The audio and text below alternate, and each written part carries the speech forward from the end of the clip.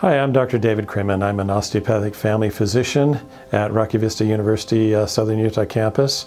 I'm an assistant professor of primary care medicine, and I am the medical director for the Southern Utah Veterans Home, where I teach the long-term care track, and I am the house doc over there. Um, I swim and bike every morning for fitness, and uh, if I have any uh, spare time, you'll find me uh, skiing, hiking, and boating with my family.